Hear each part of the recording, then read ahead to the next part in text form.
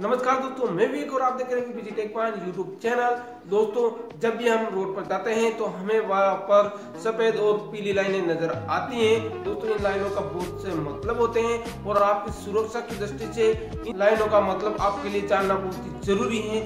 तो मैं आज आपको इस वीडियो में बताने वाला हूँ कि जो सड़क पर ब्लैक एंड व्हाइट लाइनें सॉलिड व्हाइट लाइन और येलो डबल लाइन जो होती हैं, इनका मतलब क्या होता है? तो ये लिए आपके लिए जानना बहुत ही ज़रूरी है।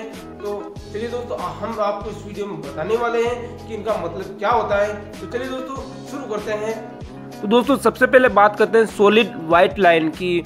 तो दोस्तों, मैं आपको बता दूँ कि सफ़ेद लाइन का मतलब होता है कि आप जिस हिस्से में चल रहे हैं, आप उसी हिस्से में चलना है। दूसरी लाइन के अंदर बिल्कुल भी नहीं जाना है। तो यह है सोलिड सफ़ेद लाइन का मतलब। दूसरी है दोस्तों, सफ़ेद टूटी लाइन सफ़ेद टूटी लाइन का मतलब होता है कि दोस्तों, आप अपनी लेन बदल सकते हैं, पर दूसरी गाड़ियों को क्वेश्चन देकर, यानी कि आप, जब भी आप सफ़ेद लाइन, टोटेड लाइन आती हैं तो आप अपने लेन बदल सकते हैं, लेकिन सामने ये देखना होता है कि गाड़ी सामने से कोई आ रही है या फिर नहीं। बात करते हैं सोलिड पीली लाइन की।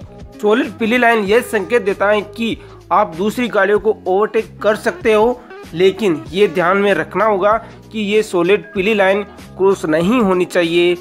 शायद इसका मतलब अलग अलग राज्यों में अलग अलग हो सकता है। जैसा कि दोस्तों, हमारे राजस्थान के अंदर पीली लाइन में रहकर दूसरी गाड़ियों को ओवरटेक नहीं कर सकते हैं।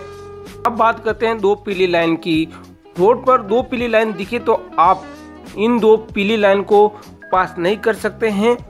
अब बात करते हैं सोलिड पीली लाइन और टूटी पीली लाइन सोलिड पीली लाइन के साथ साथ टूटी पीली लाइन भी होती हैं तो इसका मतलब है कि आप टूटी पीली लाइन की तरफ़ अपनी गाड़ी चला सकते हो तो आप ओवरटेक कर सकते हो।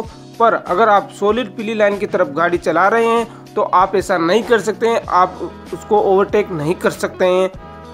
दोस्तों, उम्मीद करता हूँ अब आप जान गए होंगे कि सड़क पर जो पीली और सफ़ेद लाइनें होती हैं, उनका मतलब क्या होता है और आपकी सुरक्षा की दृष्टि से आपके लिए ये जान, आपके लिए ये कितना महत्वपूर्ण है। तो दोस्तों, अगर ये वीडियो आपको पसंद आया तो प्लीज़ लाइक ज़रूर कर दीजिए। धन्यवाद दोस्तों।